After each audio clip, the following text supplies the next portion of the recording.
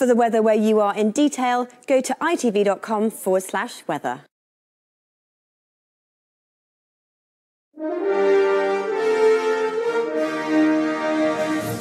Good morning, Britain. The family of Islamic State bride Shamima Begum say they are sickened by her recent comments, but will not abandon her in a letter to the Home Secretary.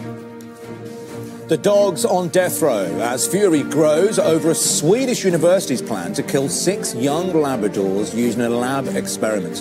We debate whether testing on dogs can ever be justified. He's one fifth of Queer Eye's Fab Five. Tan France joins us to talk about the new series of the Hit Makeover Show and how he approached being the first openly gay Muslim on TV. Friday, 22nd of February 2019, live from Television Centre in London. This is Good Morning Britain with Adil Ray and Ranvir Singh.